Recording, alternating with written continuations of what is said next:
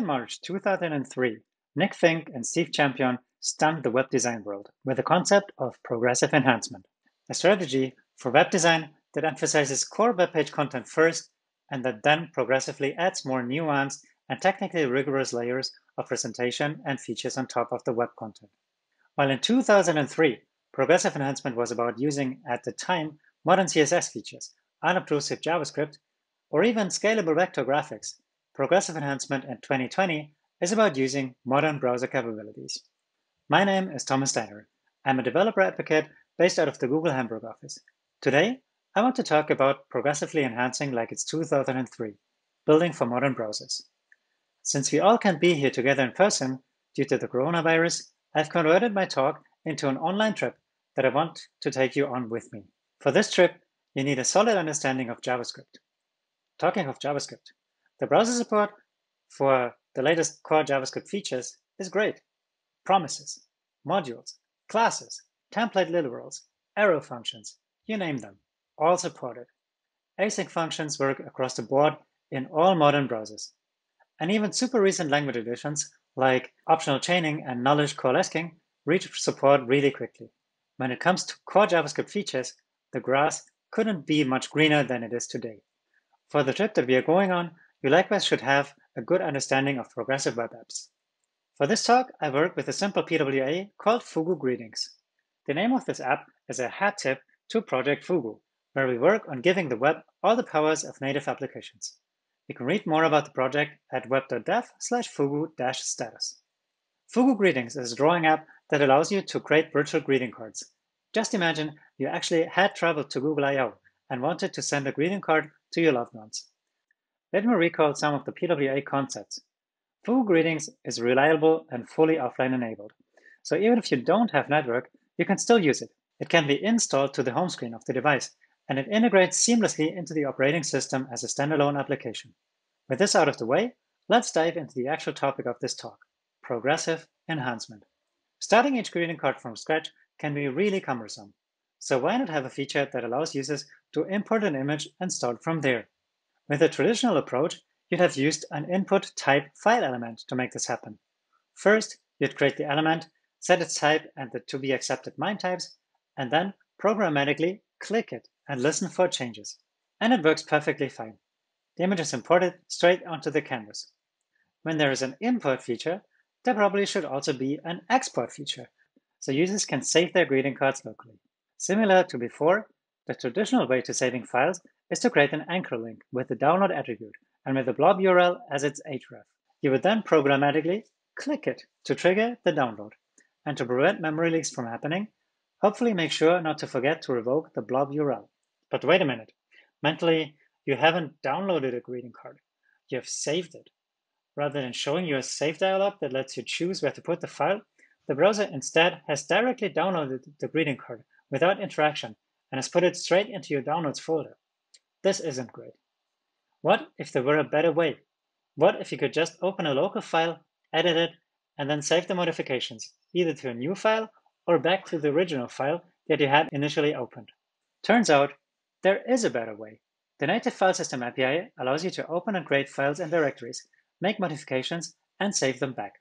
Let's see how you can feature detect if the API exists. The native file system API exposes a new method, choose file system entries.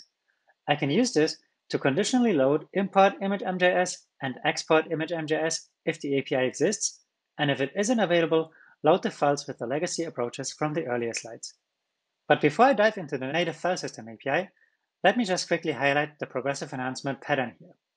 On browsers that don't support the native file system API, I load the legacy scripts. You can see the network tabs of Firefox and Safari here. However, on Chrome, only the new scripts are loaded. This is made elegantly possible thanks to dynamic imports that all modern browsers support.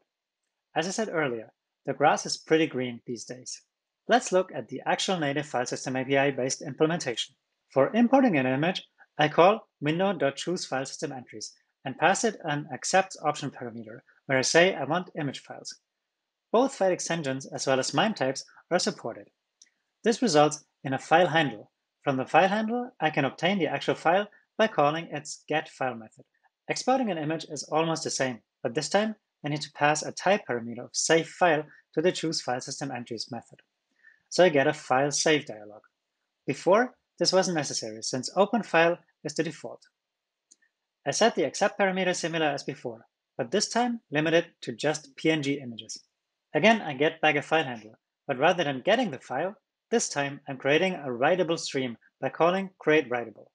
Next, I write the blob, which is my greeting card image, to the file. Finally, I close the writable stream. Everything can always fail. The disk could be out of space, there could be a write or read error, or maybe simply the user cancels the file dialog. This is why I always wrap the calls in a try-catch statement. I can now open the file as before. The imported file is drawn right onto the canvas. I can make my edits and finally save them with a real save dialog where I can choose the name and storage location of the file. Now the file is ready to be preserved for the eternity. Apart from storing files for the eternity, maybe I actually want to share my greeting card. This is something that the WebShare and WebShare Target APIs allow me to do. Mobile, and more recently also desktop operating systems, have gained native sharing mechanisms. For example, here's Safari's share sheet on macOS, triggered from an article on my site blog.tomayac.com. When you click the Share button, you can share a link to the article with a friend, for example, via the native Messages app. The code to make this happen is pretty straightforward. I call navigator.share and pass it an optional title, text, and URL. But what if I want to attach an image. Level 1 of the WebShare API that you can see on the screen doesn't support this yet. The good news is that WebShare Level 2 has added file sharing capabilities. Let me show you how to make this work with the Fugu greeting card application. First, I need to prepare a data object with a files array consisting of one blob, and then a title and a text. Next, as a best practice, I make use of the new navigator.canShare method that does what its name suggests. It tells me if the data object I'm trying to share can technically be shared by the browser. If navigator.canShare tells me the data can be shared, I'm in the final step ready to call navigator.share as before. Again, everything can fail in the simplest way when the user cancels the sharing operation. So it's all wrapped in try-catch blocks. As before, I use a progressive enhancement loading strategy. If both share and can share exist on the navigator object, only then I go forward and load share.mjs via dynamic import. On browsers like Mobile Safari that only fulfill one of the two conditions, I don't load the full functionality. If I tap the Share button on a supporting browser, the native share sheet opens. I can, for example, choose Gmail, and the Email Composer widget pops up with the image attached. Up next, I want to talk about contacts. And when I say contacts, I mean contacts as in the device's address book. When you write a greeting card, it may not always be easy to correctly write someone's name. For example, I have a friend who prefers their name to be spelled in Cyrillic letters. I'm using a German QWERTZ keyboard, and I have no idea how to type their name. This is a problem that the Contact Picker API solves. Since I have my friends stored in my phone's Contacts app, via the Contacts Picker API, I can tap into my contacts from the web. First, I need to specify the list of properties I want to access. In this case, I only want the names, but for other use cases, I might be interested in telephone numbers, emails, avatar icon, or physical addresses. Next, I configure an options object and set multiple to true, so I can select more than one account.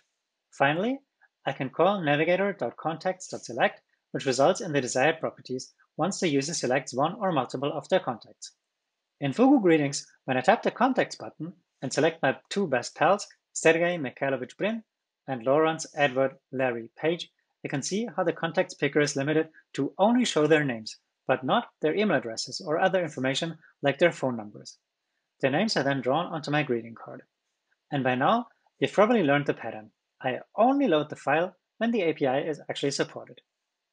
Up next is copying and pasting. One of our favorite operations as software developers is copy and paste. As greeting card authors, at times, I may want to do the same. Either paste an image into a greeting card I'm working on, or the other way around, copy my greeting card so I can continue editing it from somewhere else. The async clipboard API, apart from text, also supports images. Let me walk you through how I have added copy and paste to the Fugu Greetings app. In order to copy something onto the system's clipboard, I need to write to it. The navigator.clipboard.write method takes an array of clipboard items as a parameter.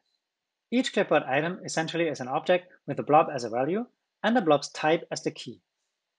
To paste, I need to loop over the clipboard items that are obtained by calling navigator.clipboard.read. The reason for this is that multiple clipboard items might be on the clipboard in different representations. Each clipboard item has a types field that tells me in which MIME type the resource is available. I simply take the first one and call the clipboard item's getType method, passing the MIME type I obtained before. And almost needless to say by now, I only do this on supporting browsers. So how does this work? Here, I have an image open in the macOS Preview app and copy it to the clipboard. When I click Paste, the Fugu Greetings app then asks me whether I want to allow the app to see text and images on the clipboard. Finally, after accepting the permission, the image is then pasted into the application. The other way around works too. Let me copy a greeting card to the clipboard. When I then open Preview and click File and then New from Clipboard, the greeting card gets pasted into a new untitled image. Another useful API is the badging API. As an installable PWA, Fugu Greetings of course does have an app icon that users can place on the app dock or the home screen. Something fun to do with it in the context of Fugu Greetings is to use it as a pen stroke counter. With the badging API, it is a straightforward task to do this. I've added an event listener that, on pointer down, increments the pen strokes counter and sets the icon. Whenever the canvas gets cleared, the counter resets and the badge is removed. In this example, I've drawn the numbers from 1 to 7 using one pen stroke for each number. The badge counter on the icon is now at 7. This feature is a progressive enhancement, so the loading logic is as usual.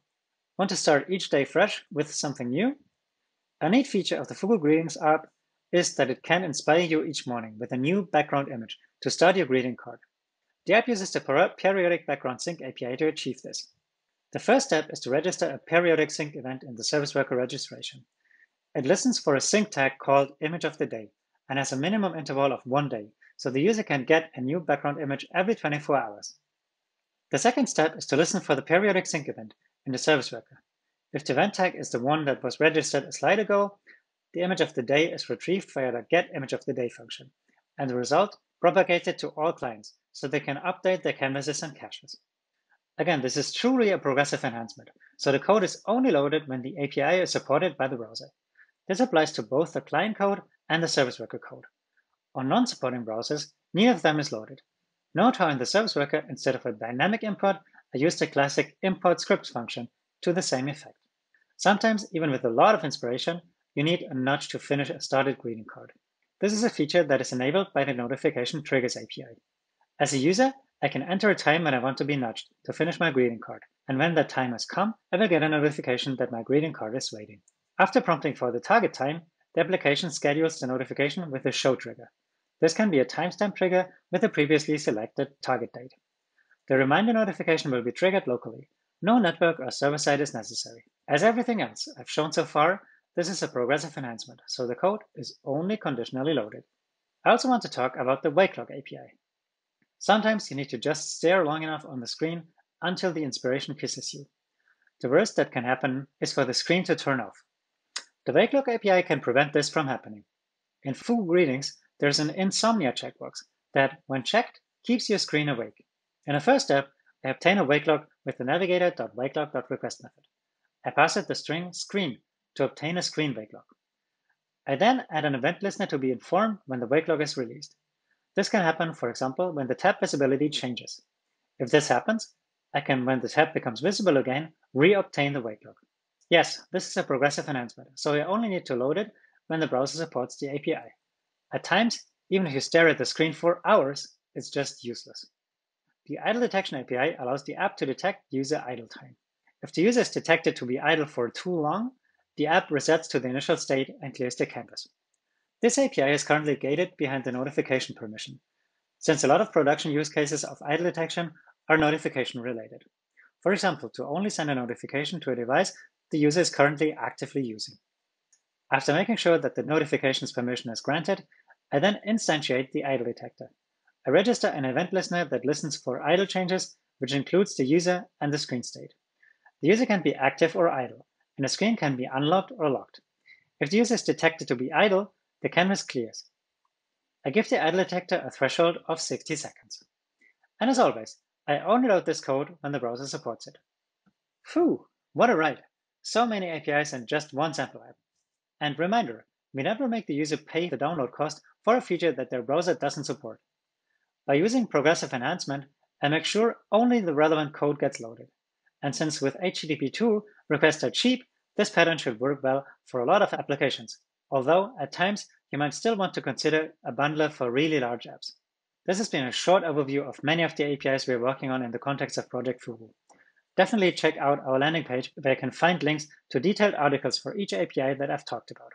If you're interested in Fugu greetings, go find and fork it on GitHub. And with that, thank you very much for watching my talk. You can find me as Tomayac on GitHub, Twitter, and the web in general.